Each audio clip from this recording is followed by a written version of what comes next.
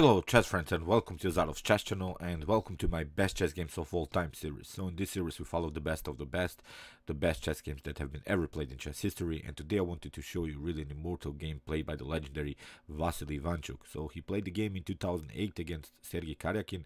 Uh, back in 2008 uh, Sergei Karyakin was only 18 years old. Uh, on the other hand uh, Vasily Ivanchuk was really uh, a respected grandmaster. I think he was in 2008 one of the best uh, chess players and but the, the Vasily Ivanchuk has really sort of an attractive playing style I think he plays really this uh, queen sacrifices rook sacrifices really this pawn breakthroughs really this aggressive methods in chess and that's why we love him we love her we love his games and he deserves really all the respect. He's now this Mikhail Tal of these days I think and he's really attractive to watch as I mentioned. So this game was suggested to me by my father. He texted me yesterday and uh, said that I should publish this one, and I of course wanted to do that.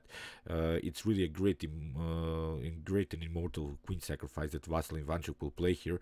But when we talk about queen sacrifices, uh, there are for me there are two kinds of queen sacrifices. The ones uh, in which you're sacrificing maybe the queen and then you have a forced checkmate sequence. I don't think they're just so attractive than this one that uh, vasily ivanchuk has played because vasily ivanchuk sacrificed the queen in move 14 then the game was prolonged uh, for another uh, 30 moves. So it's really incredible to sacrifice the queen in move 14 and then to continue to push then to go into an endgame because you have to do uh, great calculations to go, uh, to do some great uh, improvements of the position of pieces. So that's why it's not so easy to sacrifice the queen in an early stage of the games and that's why this game really deserves to be on our list of the best chess games of all time.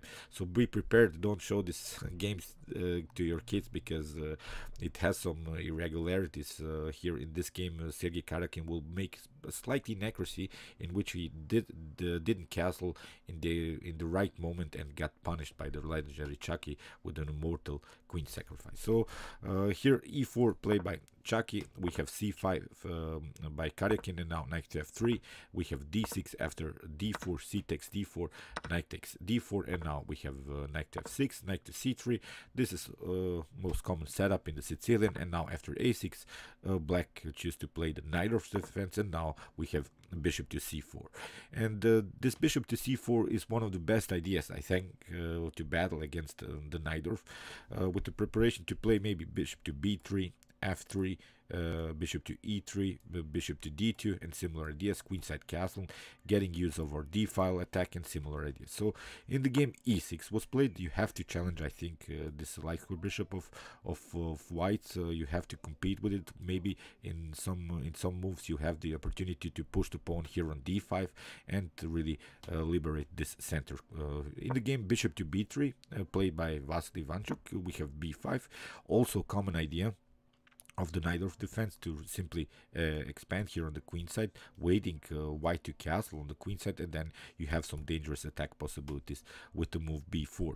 Uh, in the game, bishop to g5 was played. Uh, as I said, the idea is to play immediately b4, then to deflect uh, this knight from the defense of this e4 pawn, then of course to take out uh, with the knight. So that's why bishop to g5, a common idea. And in the game, bishop to e7, getting our bishop, of course, on this very important diagonal because this uh, pinned by the bishop on the queen was really annoying and it could be uh, really a tactical threat for black.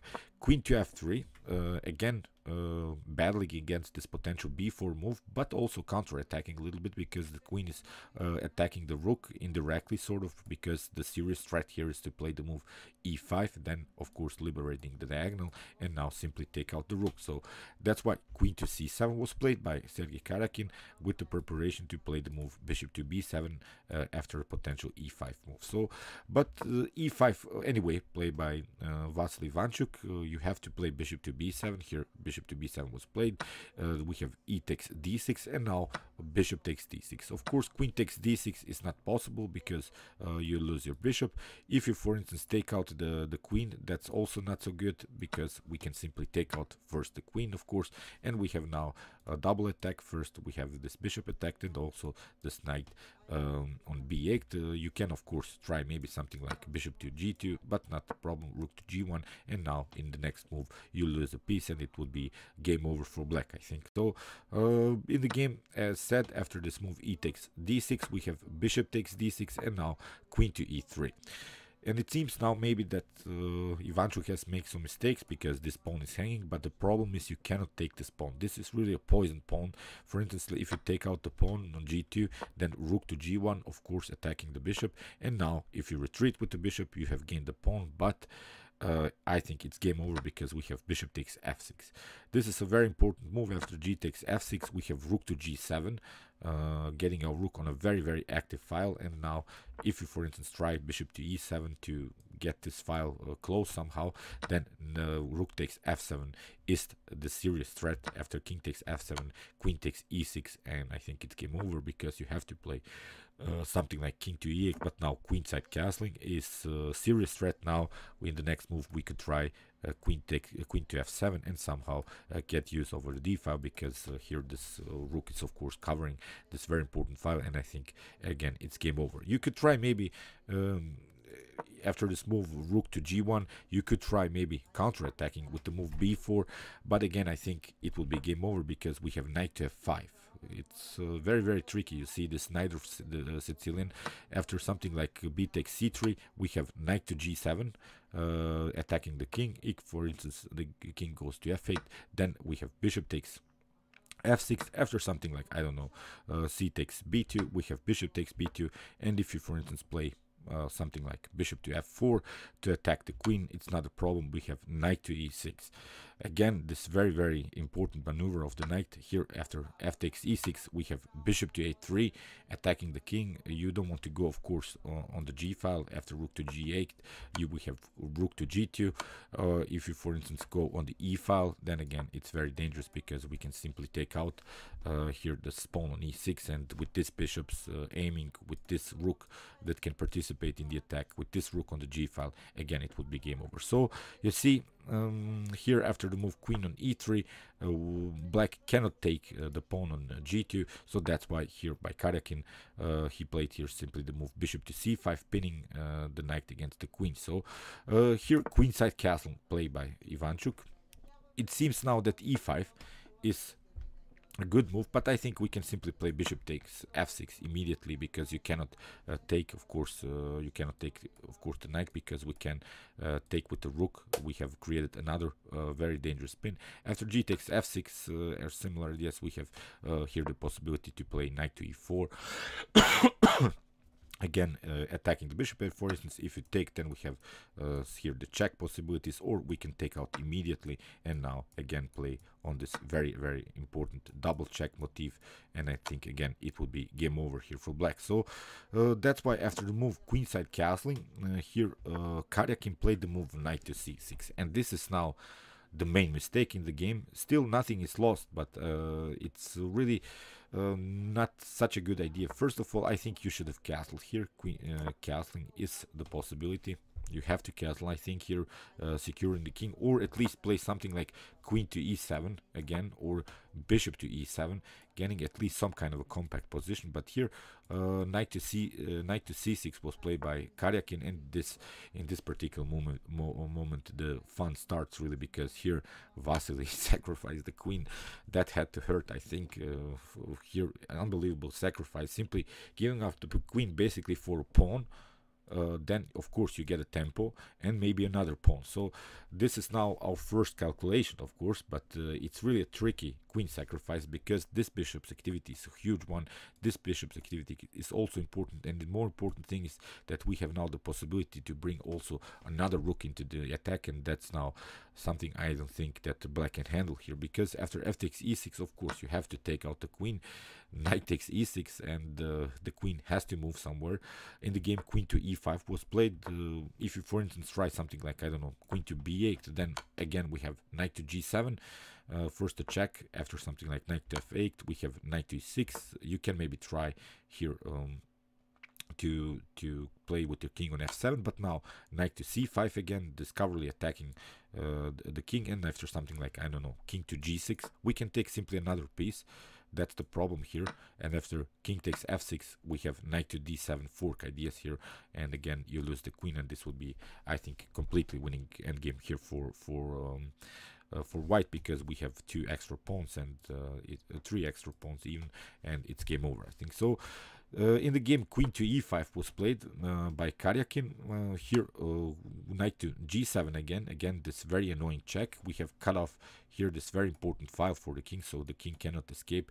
Black would love to play something like, an, I don't know, king to d8, king to c8, king to b8, somehow escape maybe to this square, but it's not possible because here this rook on d1 is a perfect one, and here after king to f8, we have knight to e6. Again, this very nice check, and now after king to f7, we have rook to e1 and um, here um, in this particular moment uh, if you try maybe king to g8 and again it doesn't help you anymore more because we have again this possibility to play the move rook to e1 let's see possible continuations if you get out with the queen. If you get out with the queen on a light square then of course knight to d4 is winning immediately because we have discoverly attacking the king and now we can take out uh, the queen. So that's why the queen has to go on a dark square. Uh, let's see possible continuation. Again this queen to b8 motif. Again we have knight to F, uh, c5 again this check. And again the same idea uh, king to g7 and now bishop takes f6 after king takes f6 again this very annoying fork. So this is the main tactical motif that can happen here i think.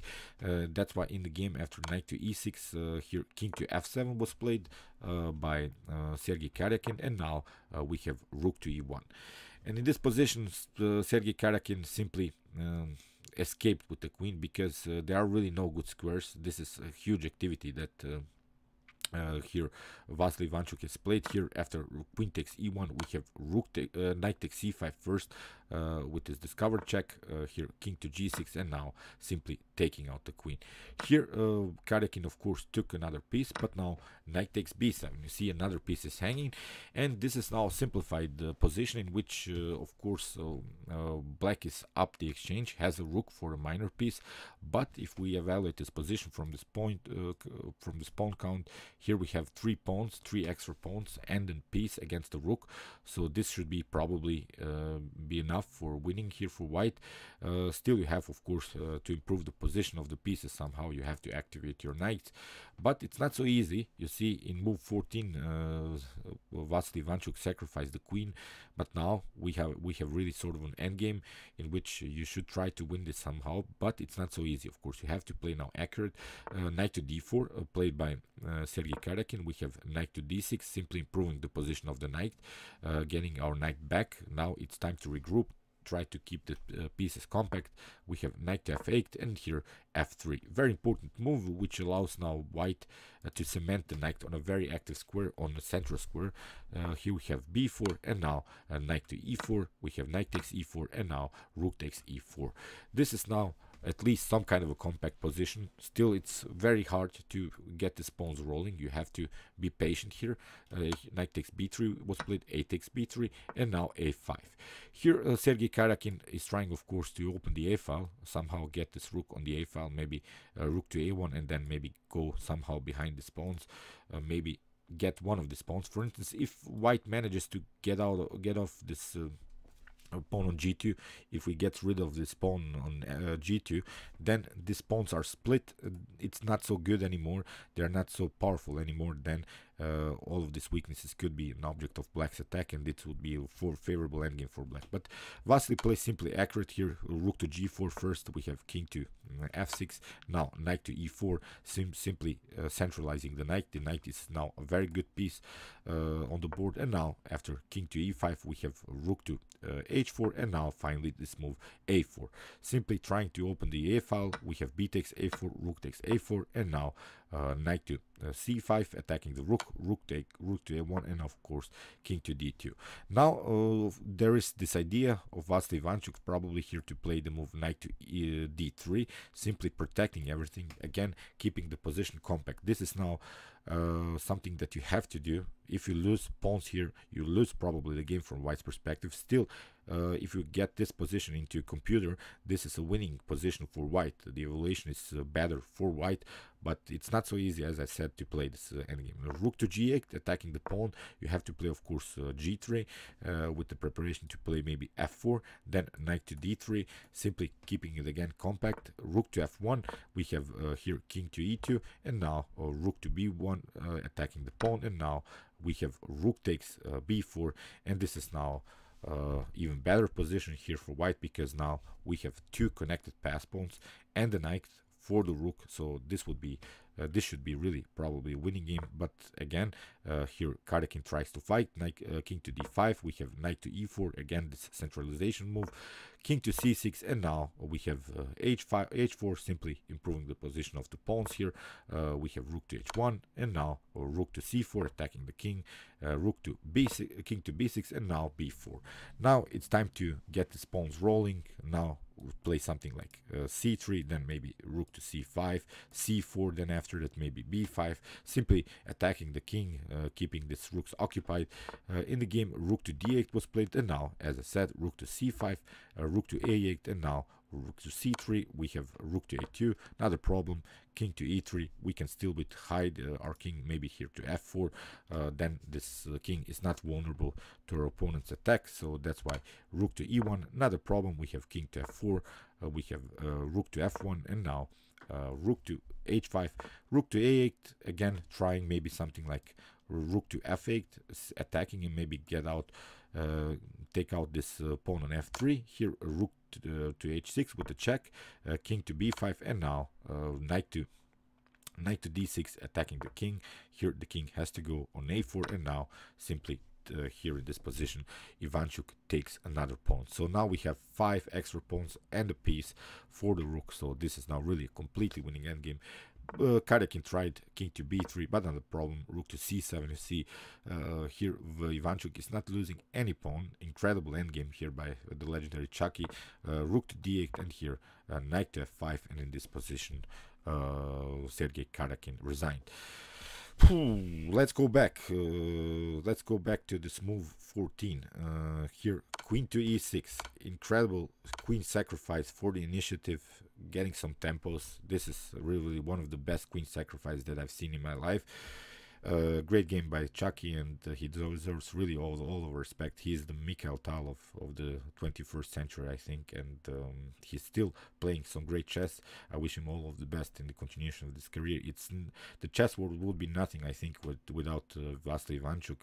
Uh, he makes us happy, I think, even if he loses games, but still, still, still, he tries to play this attractive style of chess, and I will continue to follow his games for sure.